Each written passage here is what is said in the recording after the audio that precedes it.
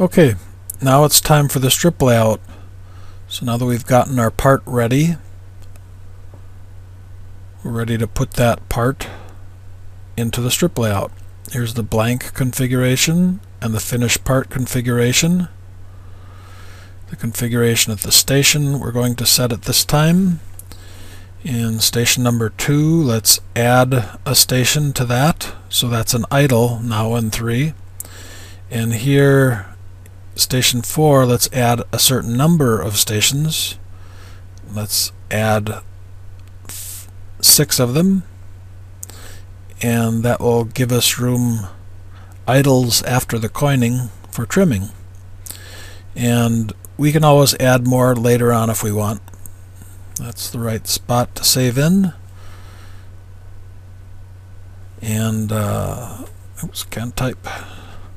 My goodness get my fingers situated, strip assembly, and the job number or project number, and strip feeding direction. And that project number will get associated, it'll get added to everything that goes into this die from this point forward. Really nice feature. Really takes care of file management in a big way.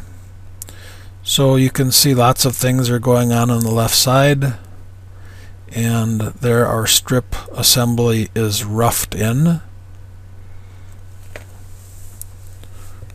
Zoom out a little bit. Let's show the configuration name graphically. And let's I like to sometimes I use an even number here. Sometimes I don't bother with it but we'll make that 0.3 and we get a preview here on the first two stations so that's what you're going to be seeing changing. So I want at least 75 thousandths between the parts but I want an even progression so I'll make that 625 and you probably wouldn't make it that much in real life. Let's just update that. But we're just showing you for reference how to do it. And now we're going to be independent. The part's not going to be balanced in the middle of the material. I want more material here, 375. It shows our material loss down there. And there's our preview on the width, but here I only want 60 thousandths, like so but I want an even material width so I'll make that 1.4 and then that changes that so I'll make that 375 and that 060 is calculated. That's not changeable at this point without changing one of the other ones. And we'll apply that like so.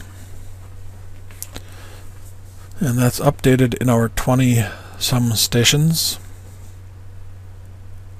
and we'll add a cutting punch. We'll start with the pilot pierce punch.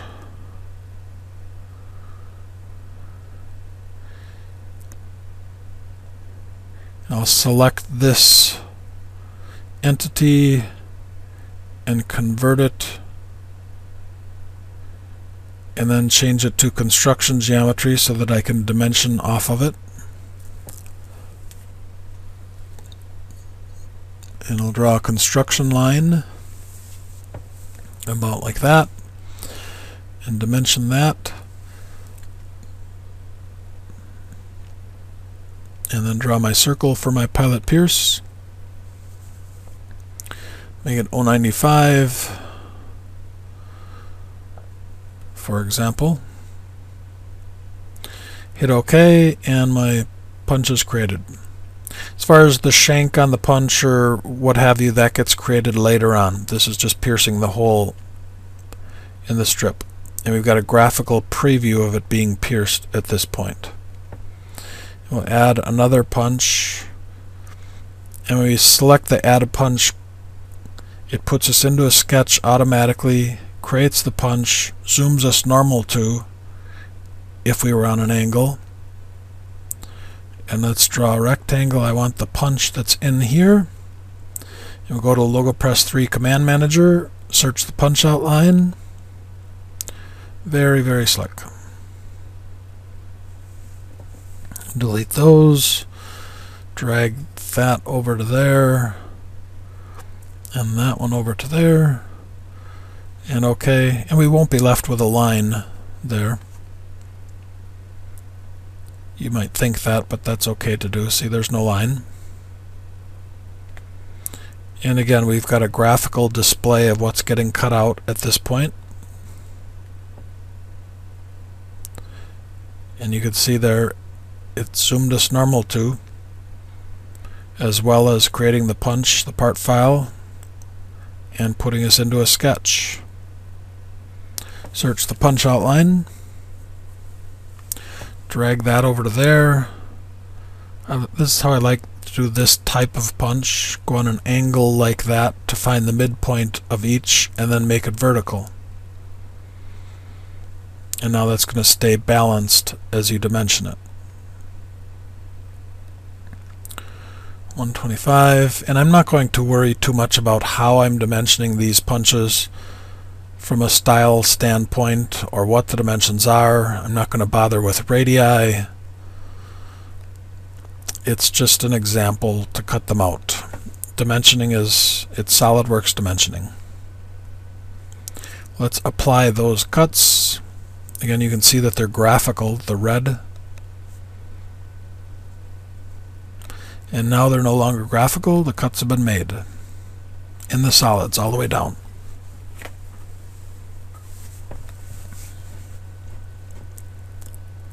There's where the coining starts.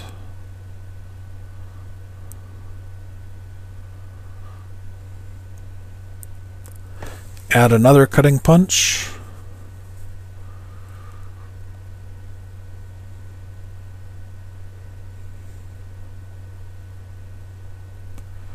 And let's draw a rectangle right here. And search the punch outline. And then simply drag that up. It's a good technique. and again I'm not spending much time but I'm just I'm dimensioning these just to remind you to make sure that things are always dimensioned but I'm not too concerned about what the dimensions are or exactly how I'm going to make the punch I'm more interested in showing you the performance of Logopress 3 Create another punch, zooms us normal to, puts us into sketch mode. Search the punch outline. Saves a lot of time. Automation is where it's at. Dimension from here. Oops, let me draw a line first. And then dimension like so.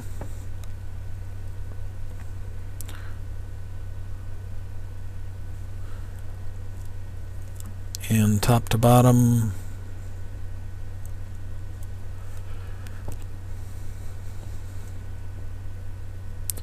And I'm not putting any punch mismatches on. None are really necessary other than in this area right here, perhaps. But we've got some awesome punch mismatch tools.